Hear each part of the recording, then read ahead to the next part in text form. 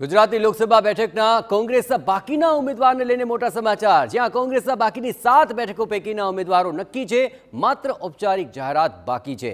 જૂનાગઢ બેઠક પરથી હીરાભાઈ છૂટવા કોંગ્રેસની પસંદ બની શકે છે અને સુરેન્દ્રનગર બેઠક પર ઋત્વિક મકવાણા બનશે કોંગ્રેસના ઉમેદવાર. નવસારી બેઠક પર શૈલેષ પટેલ અને પરપ્રાંતિયની પણ પસંદગી થવાના આસાર છે. અમદાવાદ પૂર્વ બેઠકની વાત કરીએ, ડોક્ટર દ્રષ્ટિ પટેલ, ગીતા પટેલ અને દલસુખ પટેલ રેસમાં છે. રાજકોટ લોકસભા બેઠક પરથી ઉમેદવારને લઈને કોકડું હજુ ગૂંચવાયેલું છે. રૂપાલાના વિવાદને ધ્યાને લઈ કોંગ્રેસની થોભો અને રાહ જોવાની નીતિ જોવા મળી રહી છે. મહેસાણા બેઠક પર ઓબીસી ઉમેદવારને કોંગ્રેસ ઉતારી શકે છે. એ સિવાય મહેસાણામાં પાટીદાર ઉમેદવાર કોંગ્રેસની પ્રથમ પસંદ હતી, પણ યોગ્ય પાટીદાર ઉમેદવારે ન મળ્યા અને હવે ઓબીસી ઉમેદવારને ઉતારવાનો વ્યૂ જોવા મળી રહ્યો છે. તો આ સાત બેઠકોને લઈને કયા નામ હોઈ શકે? તેની ચર્ચા તો છે, પરંતુ નામ લગભગ નક્કી છે. બસ જાહેરાત બાકી છે.